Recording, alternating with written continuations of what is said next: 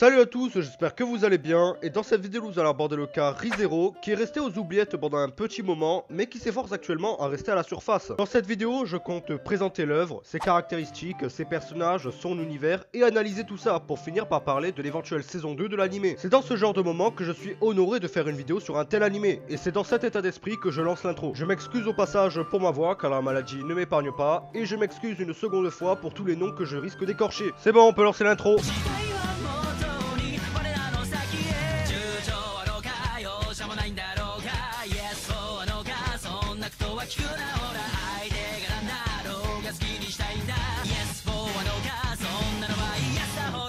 ほら ReZero est un seinen qui réunit action, aventure, drame, romance et fantasy. L'œuvre a fait ses débuts en roman par l'auteur Tape Nagatsuki, ensuite en light novel édité par Media Factory et sorti à partir du 25 janvier 2014 et c'est toujours en cours pour comptabiliser 18 tomes dont 8 sortis en France. Suite à tout ça, le manga apparaît, scénarisé par TP et dessiné par Makoto Fuketsu. Il réunit les trois arcs avec le troisième qui est toujours en cours. Et pour finir, l'anime japonais réalisé par Masaharu Watanabe et fait par les studios d'animation White Fox. Sa première diffusion a commencé le 4 avril 2016 jusqu'au 19 septembre 2016 avec un total de 25 épisodes plus 2 OAV dont le deuxième sorti récemment. ReZero nous fait suivre le quotidien, si je puis dire, de Natsuki Subaru, un lycéen sans histoire, sans histoire oui, mais pas sans intérêt, car un jour, en sortant d'une supérette, le lycéen est transporté dans un autre monde, subitement, littéralement en un clin d'œil. Et il n'y a bien sûr aucune explication à cela. Donc il arrive dans ce nouveau monde, où les gens sont dégueulassement faits en 3D, il essaye donc de prendre ses repères, et bien sûr il n'a aucun pouvoir, jusqu'à ce qu'il soit attaqué par des bandits, donc il se fait attaquer et perd comme une merde, alors qu'il est en train de mourir, il est sauvé par une demi-elfe aux cheveux d'argent, de couleur argentée hein, ses cheveux sont pas à faire base du billet. Ils apprennent à se connaître et lui confessent qu'elle se nomme Satella. Elle est accompagnée d'un grand esprit, Paku, qui ressemble plus concrètement à une peluche, mais passons. Pour lui rendre l'appareil, Subaru décide de l'aider dans ce qu'elle entreprend. Au passage, Paku, je l'ai dessiné, mon insta toujours en description pour ceux qui veulent, bien sûr. il décide de l'aider car quelqu'un lui a volé son médaillon. Plus tard, ils descendront dans les bas quartiers et c'est là qu'une femme mystérieuse les attaque et les tue. Avant de totalement mourir, Subaru serre fort la main de Satella et lui promet qu'il fera tout pour la sauver. Cependant, au lieu de mourir définitivement, il se réveille au même endroit où il était apparu, c'est-à-dire devant le marchand de pommes. C'est au bout quand même d'un petit moment que Subaru réalise que à sa mort, il remonte le temps jusqu'au checkpoint et va ensuite s'en suivre des tonnes de morts et des tonnes d'essais, je ne mentirai pas en disant que tout cela m'a fait penser à Dark Souls. Il ne faut pas oublier que Subaru était de base un no-life, mais dans ce monde, son seul pouvoir est celui de remonter le temps. Bien sûr, cela veut dire qu'il sait des choses que les autres ne savent pas. Et donc, quand on lui demande de s'expliquer, il ne peut pas, car dès qu'il essaye de le dire, le temps s'arrête et il ressent une forte douleur au niveau du cœur. Malgré lui, il s'entraîne de temps en temps et semble connaître les bases du combat au corps à corps, ce qui le fait passer de mouche à moustique. Je vous passe un peu tout, histoire de pas trop spoil. Plus tard, il fera la connaissance au manoir d'une figure emblématique, de même que si vous ne connaissez pas ReZero, vous avez forcément dû la voir. Je parle de Ram. Attends merde, c'est c'est qui elle? Je parle de Rem, qui est la sœur de Ram. Elles sont toutes les deux des ogresses, avec l'une des cheveux bleus et l'autre des cheveux rouges. J'ai d'ailleurs décidé une des deux, je vous laisse deviner laquelle. Rem possède toujours sa corne, alors que Ram, on lui a enlevé quand elle était petite. Rem travaille bien mieux que Ram, mais un complexe d'infériorité par rapport à elle. Plus tard, elle tombera amoureuse de Subaru, ce qui nous fera assister au plus grand râteau de notre siècle. Il y a ensuite Beate une mystérieuse mage qui a formé un contrat avec son maître afin de protéger les livres anciens. C'est pour ça qu'elle est tout le temps dans la bibliothèque, elle est plus sensible qu'elle en a l'air, et malgré son apparence, elle a plus de 400 ans. Il y a tellement d'autres personnages que j'aimerais vous présenter, comme Wilhelmu van Astelea, qui est bien plus comme un gendarme, Yulisu, Félix Argile, Rein Haruto van Astelea, qui semble bien cacher son jeu, et Kulushu Kalusuten, qui sont tous des personnages importants à l'histoire, et qui se démarquent de par leur force ou leur caractère. Mais tous les présenter serait tout simplement trop long et trop chiant pour vous, donc on passe directement à la suite.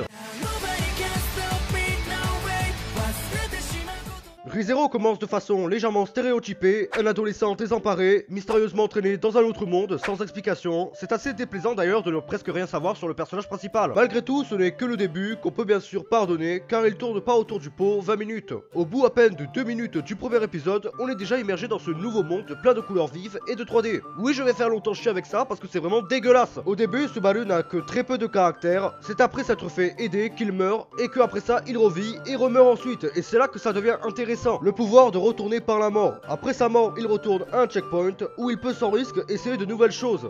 Toutes les personnes qu'il a rencontrées au cours de sa dernière vie l'oublient et il est le seul à se souvenir de tout. L'œuvre arrive à examiner en profondeur les conséquences de ses effets sur son état, que ce soit psychologique ou physique, et les spectateurs, par-dessus tout, ressentent tout ce que ressent Subaru. Son choc, son émerveillement, sa confusion, ses soudaines prises de conscience, et aussi son bonheur lorsque tout finit par bien se passer. Je vais revenir vite fait sur les critiques qui lui sont faites d'abord, car beaucoup décrivent Natsuki comme étant le plus nul des héros, et je ne suis pas d'accord. Le personnage est juste présenté comme reflétant le jugement humain, car on voit très bien qu'il est imparfait, sa cupidité prend des fois le dessus, ce qui rend sa personnalité d'autant plus réelle et profonde. Face à la mort de ses amis, il fait tout pour l'éviter, quitte à devenir fou à force de voir ses amis mourir de plusieurs façons horribles et d'être impuissant, être dans la haine et dans la peur à chaque résurrection, craignant de devoir recommencer à renouer tous les liens. C'est pour moi le parfait anti-héros, il est loin d'avoir toutes les qualités d'un héros, mais dans beaucoup de moments, il suscite la sympathie de par sa situation. Essayez d'imaginer ce que vous auriez fait à sa place, pire des fois on pense même à sa place à choisir la solution de facilité. Du genre, oh les villageois sont morts, mais tant pis, pas la peine de remonter le temps et de se faire chier. Et puis je vous signale que remonter le temps, après être mort, n'est pas de tout repos, car avant de remonter le temps, ben, il doit mourir, et la douleur n'est pas un accessoire. Il y a aussi un rapport à la mort très réaliste, car le personnage, même s'il sait qu'il va revenir, n'en est pas complètement sûr, en plus de la douleur bien sûr. C'est pour ça que le plus souvent, il supplie de ne pas mourir, soit par peur de la mort, ou la peur de tout perdre, ce qu'il a été accompli jusqu'à maintenant. C'est pour dire que même si le héros est entre guillemets immortel, il a un rapport à la mort très humain, car face à celle-ci, il a une réaction tout à fait normale. Malgré tout, Subaru a beaucoup de mérite, car il réussit le plus souvent du temps à surmonter les épreuves et à faire à ce que tout se passe pour le mieux dans le meilleur des mondes, et de plus sans aucun pouvoir. Mais tout ça ne veut pas dire que Subaru est le seul personnage développé de la série. Les autres personnages rencontrés plus tard ont leur propre arc qui se lie à leur plan. Le déroulement de tous les épisodes presque sont intéressants et il y a toujours quelque chose qui précède la fin et qui permet de maintenir l'atmosphère de la série. Genre une phrase véridique ou un soupir, qu'il soit de soulagement ou d'inquiétude, ou même une scène finale couplée avec la musique de l'ending qui vous laisse souvent une boule dans le ventre. Niveau audio, l'anime a deux openings et deux endings. Le premier a des effets flashy et des éléments cachés qui deviennent plus évidents à mesure que la série se poursuit. Le deuxième fait par nul autre que Mythéroïde qui visuellement rivalise avec le premier et a un caractère assez chaotique qui définit parfaitement son arc. Le début de l'ending fonctionne d'ailleurs très bien pour conclure un épisode. Question animation, il n'y a rien de spécial à relever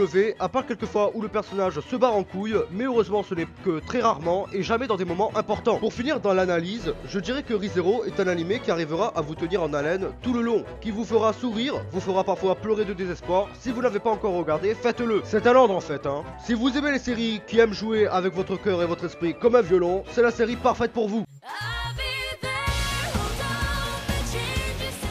Bon, assez plaisanté, abandonnons la saison 2 parce qu'il y a beaucoup de choses à dire. Déjà, si vous y tenez réellement, vous pouvez reprendre là où l'anime s'est arrêté avec le tome 10 du light novel. Et c'est là où on touche un problème. C'est que les traductions sont longues. Au Japon, ils en sont au 18ème tome, en France, on en est au 6ème, et chez nos amis américains, ils en sont au 9ème qui devrait sortir en mars. Mais là, où ça devient une bonne nouvelle, c'est que du coup, à l'heure actuelle comparé à avant, il y a plus de chances. Car le light novel a dépassé l'anime, et donc il y a quelque chose à adapter. De plus, je vous avais parlé d'un OAV, et le deuxième qui dure une heure, et dont la fin laisse peut-être entendre une seconde saison. Et c'est sorti très récemment. Déjà, premier point, l'œuvre n'est pas morte. Deuxième point, les Blu-ray et les light novels font de très bonnes ventes. Et le dernier point, mais essentiel, Crunchyroll, qui diffuse l'anime sur leur plateforme, font beaucoup de vidéos sur ReZero. Et ils en parlent beaucoup, comme pour maintenir l'œuvre à température ambiante. Façon de parler, ce n'est que de la théorie. De plus, cette année est l'année des suites, avec la suite de Kakeguri, One Punch Man, Mob Psycho, donc pourquoi pas ReZero Les studios en charge de l'anime sont très lents pour cause que White Fox est quand même un petit studio. Mais cela ne doit pas nous faire perdre espoir. À mon avis, une annonce ou autre chose subtile risque de bientôt arriver, surtout que le projet Isekai Quartet est lancé. Les ventes sont bonnes, que ce soit le light novel, mais aussi les goodies, du genre les figurines. Les OAV sont sortis il n'y a pas longtemps, Crunchyroll fait beaucoup de références, et c'est aussi un animé assez connu et demandé. De plus, la période me semble adéquate, nous ne pouvons maintenant que espérer que la suite se fasse et qu'elle soit bonne. Et pour l'instant, toutes les chances sont pour une suite. En espérant vous avoir redonné espoir, je ne mettrai pas d'hypothèse, mais à mon avis, je pencherai plus pour une suite en 2020. Car s'il voulait vraiment le faire cette année, il l'aurait déjà annoncé au début 2019.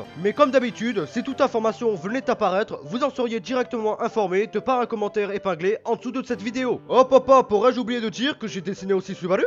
Ah bah j'ai la mémoire courte, euh, autant pour moi, désolé, mon instant en description. hein.